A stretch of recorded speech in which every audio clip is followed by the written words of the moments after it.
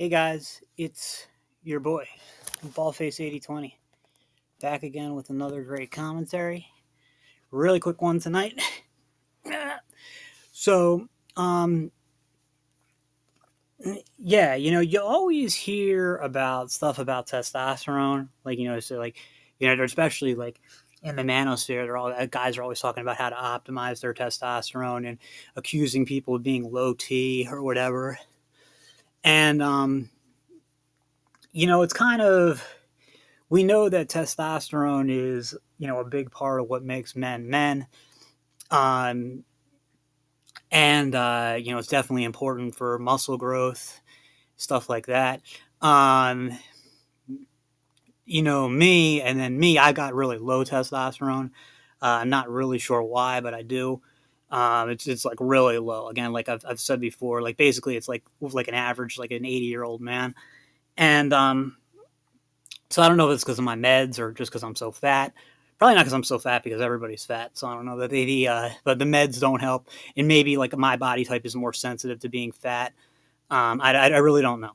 Um, but uh, there's this like I think two weeks ago it was that maybe it was a week. I, I don't remember, but it was this time that I could tell that probably for the first time in my life that I really had high testosterone and I don't have any scientific data saying that suddenly like my testosterone got high, but um, something was going on. I, I, don't know what it was. So basically, what had happened was, you know, I had I was trying to get off my meds, and you know, for a week or even more than that, before I was trying to get off my meds, I had been um, eating lots of probiotic foods. So not only was I eating probiotic foods, but I had subbed out the commercial milk, which I drink a lot of for um, locally produced raw milk. And commercial milk is known to, you know, dramatically increase estrogen and thereby, um, thereby uh, decrease testosterone. Now, I'm not again, I'm not telling anybody to go out and buy raw milk.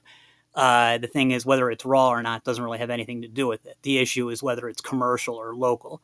Uh, local milk, they they just milk the cows normally. Commercial milk, they keep the cows pregnant all the time, so you're getting that like extra estrogen in in the milk or, or, some shit like that. I don't know, or maybe it has something to do with the antibiotics. Whatever it is, it's it's been shown to raise estrogen, uh, which doesn't mean you have to stop drinking it because who who cares? It's it's it, for most people, it doesn't really make much of a difference. Maybe I'm more sensitive to it than most people. Um. So basically, you had kind of like uh, three things going on at once. And plus, you know, I, I, now my sleep apnea, which I've had for God knows how long, is, is being properly treated. So you had the sleep apnea being treated, you had me being on the probiotic foods for a pretty long time, and um, me taking out the commercial milk, and then finally me getting off my meds. And I would say that, you know, you know, before I really relapsed on day four, day two or three, there was just like this dramatic change where my I, something must have happened that caused my testosterone to shoot up. And I, again, it's not a placebo because I wasn't expecting it to do anything. I've drank raw milk before. I've been off my meds before. I never had an experience like this. But like out of nowhere, my libido was like, like I mean, way higher than it was like when I was 16 years old. And um, you know, I won't go into any much more detail than that. But that's like and uh, so like I that's like completely unusual. There's really like I've got I've never had an experience like that before, and then um, you know uh, also I was um, I could tell like there were like changes in um my like musculature like uh, like my muscle I wasn't doing anything different but I my muscles like I could just tell were more like I don't know I was more vascular all of a sudden and I hadn't like lost any weight and it seemed like my muscles got, had gotten a little bit bigger too. And um, then uh, the uh, now I did feel a lot more energy as well, but I don't think that necessarily means anything because I have had times where I can't think of other times in the past where I've had more energy than usual. Plus, me feeling more energy isn't really saying much. I never have any. And then um, but uh, like I would say probably the most interesting thing wasn't so much the libido per se it was how I was the way I was looking at women you know I was seeing women and sometimes I wasn't even that attracted to them and I would like have this like instinctive like like this instinctive feeling like I just wanted to go grab them by the hair and drag them back to my cave. And that's like not my personality at all. That's like I, have I've never had feelings like that, and um, I didn't. It, it, didn't feel like it was me. It was just that's not the way I'm used to thinking. Now, I, I have a like I have a lot of um, I would I would never actually do anything like that. I wasn't it was I wasn't in the danger, but the difference is is that now I was having the instinct to do something like that, and um, uh, also I was like found myself very anxious to fight, very anxious to get in fights with other guys. Like I was seeing guys and then I just saw myself instinctively thinking, you know, about fighting them. And that one doesn't necessarily mean that much because I've always liked to fight. And um the uh but and it was yeah, so I didn't necessarily make a huge deal about that either. Um but you know, at the same time, there were changes that you think that would have come up that didn't. Like, for instance, I didn't feel any more confident at all. In fact, I felt less confident. And um, I, I, think it's because I naturally have a really jumpy personality. So, like, maybe testosterone, like, kind of just triggers anxiety in me. And, um, or, or it could also be that low testosterone kind of produces a kind of apathy and that apathy you know makes me come makes you know sort of kind of makes you more confident by default because you just don't get you don't just don't give a shit.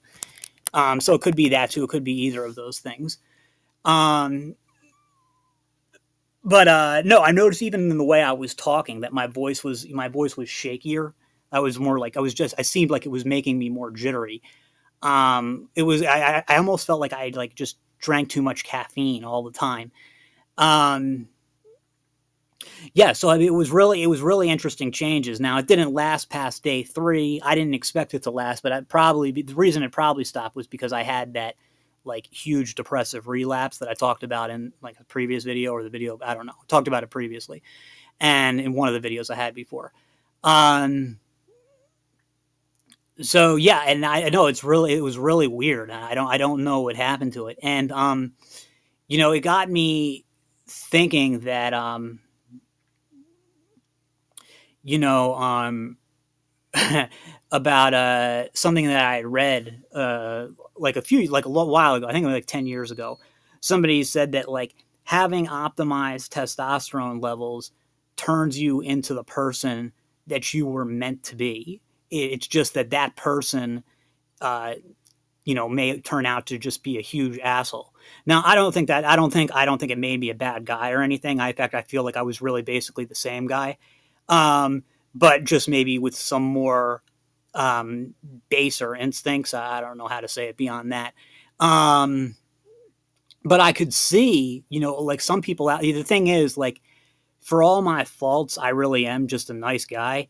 So I could see somebody who's like not like really a nice guy you know, maybe, um, you know, if their testosterone levels went up, it could have like really negative effects, you know, and make that person like a, a, a more dangerous person or a dangerous person. Um, so I don't know, you know, it's just, I don't, I don't, you know, I don't really know what to say about what to say about it. Um, on the other hand, I know that there are problems like, you know, I know that low testosterone can cause problems too, like depression, and that can all, I mean, not only does depression suck, but it can make you know it could theoretically make somebody more dangerous. Um, can certainly make them cranky. If you I know that that can happen. Um, yeah, I mean, and then I guess I felt like a little bit more upbeat, but I, I, don't I don't attribute that to the testosterone because the thing is, I remember you know for a couple weeks I was taking those TRT injections and I didn't notice any difference. I, I knew that I felt off, but I didn't feel any difference in terms of like libido or aggression or anything like that. Um, so, yeah, just my experience with it. I'm not really sure what to make of it. That's all for now, and I'll see you in the next.